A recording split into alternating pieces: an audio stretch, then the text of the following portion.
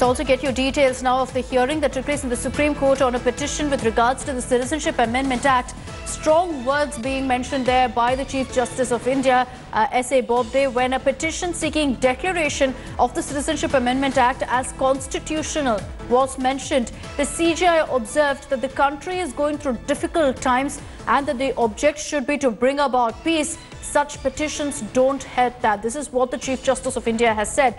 The Supreme Court has said that it will hear the petitions challenging the validity of the Citizenship Amendment, uh, Amendment Act as soon as the violence stops. This is with regards to a petition that was filed seeking that the CAA be declared constitutional and the CJI has said that this does not help uh, with what's happening in the country right now. Anisha Mathur is joining us with more details on this. Anisha, if you could throw more light on exactly what observations were made in the Supreme Court during this hearing.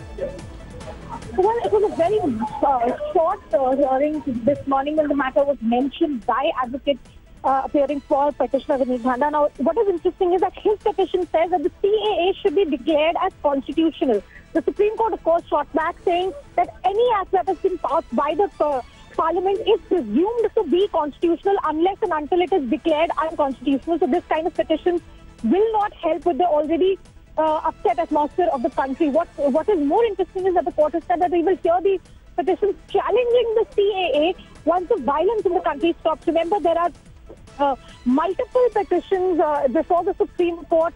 Dozens of persons, including political parties, are uh, political persons, activists, artists, etc., have come to the Supreme Court challenging the validity of the uh, of the CAA, saying that this is unconstitutional. We'll have to uh, wait and see now when these matters are going to be heard, especially since the court has made it stand very, very clear in the last, and not just one, not just today, but earlier also when there was a request to hear the uh, pet uh, petitions with regard to the ongoing violence in the country, the court had said that this kind of protest as long as the kind of right. protests and violence is on, we will not hear these matters. Okay, Anisha, thanks for those details. More breaking news coming in.